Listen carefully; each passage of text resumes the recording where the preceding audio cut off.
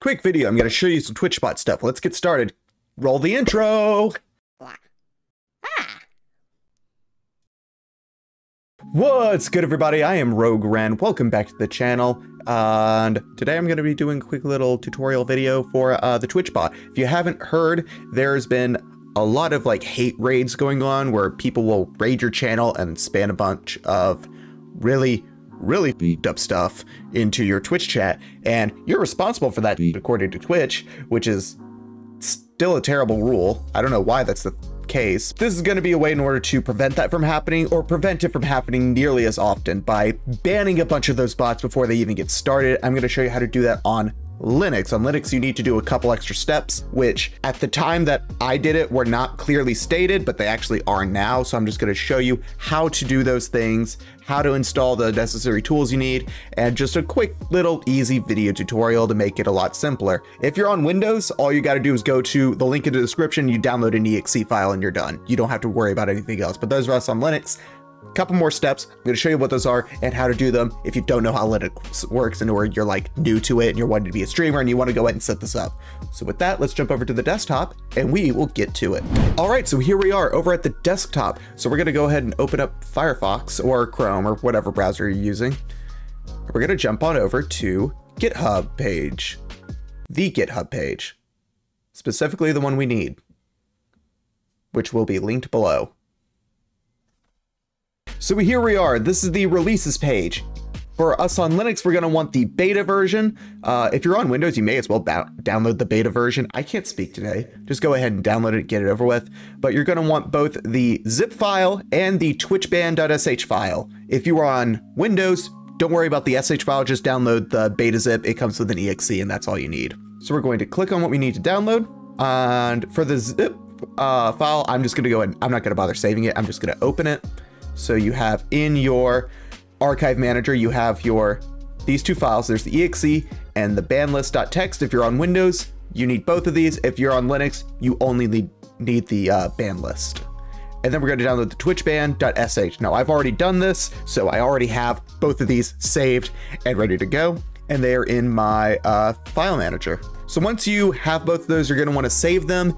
Uh, anywhere you want, they just need to both be in the same folder. So for me, if I go over to my programs folder, I have one called Twitch Bandbot right here. So I have the banlist.txt and the twitchban.sh because I'm on Linux. If you are on Windows, instead of the twitchban.sh, you will have the twitchban from list.exe. If you're on Windows, all you're gonna have to do is go to your Twitch chat, which I have saved, and then all you do is that you're going to run the exe, you're going to click into your little text box, and you're going to hit, I believe it's F12, and then it'll start working. For those of us on Linux, we have a few more steps. So the first thing you're going to need to do is install an application called xdotool. It lets you do a lot of script stuff and auto typing and those sort of things. Uh, so to do that, open up a terminal. You can either do a hotkey like what I have. I have a shortcut for Super T, which is just the Windows button. If you don't know on Linux, the Windows button is called either the Super key or the Meta key, or you can search for it in your program's manager. So if I type in terminal, uh, I get my terminal, which is called console. And once it's opened up, you're just going to type in the following. It is going to be, how do I zoom this? Uh, let's see, control, Make this a bit bigger. There we are. It's going to be sudo apt install xdotool. Now I already have it installed, so when I run this, it's going to ask for my password and inval. I typed install with three L's. There we go. It's going to say it's already installed because it's fine. It's already there. So once you have that installed, you're gonna, here's the part that's gonna be a little bit more complicated. You are going to need to type, there's two things you can do. You can either go to your file browser, go to where your um, files are saved. I couldn't remember the word for a second. And then you can either right click, open terminal here, and now you have a terminal in that location. Or you can do it, this is the more fancy technical way that makes you look smart, even though it's not really that smart. It just looks like it. if you want to show off to people, this is how you do it. You type cd and then the the folder, not the file, the folder where these files are. So for me, it is home slash programs slash twitch dash ban dash bot. And these file names or folder names are case sensitive. I enter that, and now that's where I am. So easy ways to just open it in your file browser, right click, open terminal here. Advanced show off way is to do the cd command, which is change directory. So with that, I'm gonna close that one. This one's all we need. All you have to do is now type, oh, well, before that, um, with this uh, sh file, right click it, go to properties, and make sure executable is selected. Depending on your file browser, if you're using like GNOME and you have Nautilus, um, it may be under a different um, tab. I'm using KDE, so it's under the permissions. Just make sure is executable is um, checked. If you can't find where it is, you can do that through the terminal if you are in the folder by typing chmod plus x and then the name of the file, which would be twitchban.sh. And that will make it executable. The menu is a little easier to figure around with, but if you can't find it, you can type that in and that will let you do it without needing to find the right tab in that right click menu. And again, if you can't see it, I'm going to zoom it in a little bit. It is chmod plus x twitchban.sh. So the name of your file, which in this case is twitchban.sh. So once you have done that, to actually run it, and what it will ban, this list of this list of usernames is what it is banning all the way down and then ban list end. You do not replace this one right here. If you want to add more names, add them in between the bottom and that ban list end. That's where you want to add more names. Now, I'm not going to add any more names. I don't care to save this. At least I'm not going to add any more names yet. I may do it later.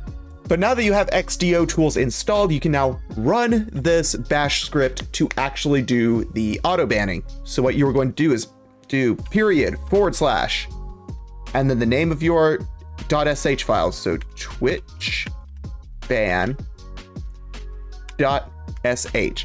When you run this, you will have about five seconds to click into your field where you need to type this.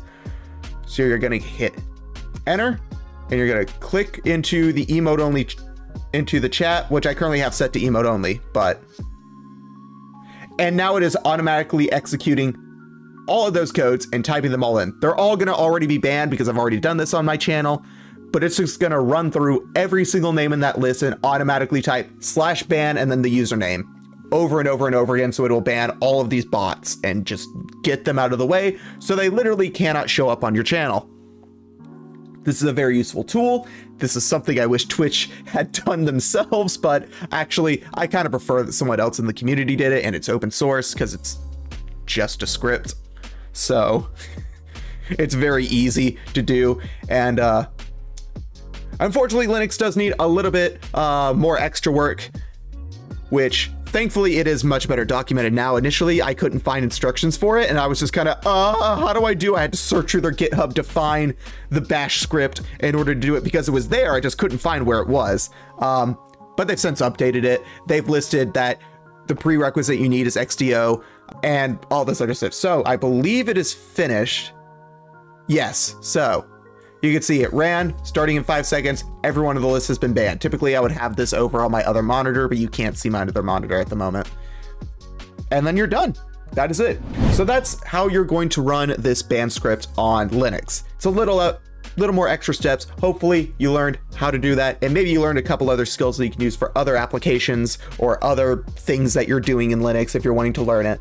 Um, Linux is not that scary. It looks weird and it's different, but it's at the end of the day, the majority of what you're going to do on anything on whether it's Windows, whether it's Mac, whether it's Linux, whether it's Chrome OS, whether it's even Android are all going to be the same. You're going to open a store, you're going to download a thing, and you're going to click to launch it.